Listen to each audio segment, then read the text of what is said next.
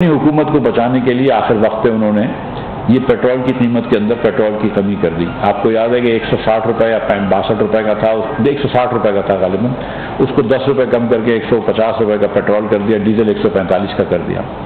जबकि उस दिन समझी थी कि बढ़ाओ लेकिन बढ़ाया नहीं, बल्कि मजीद दस रुपये कम कर दिया।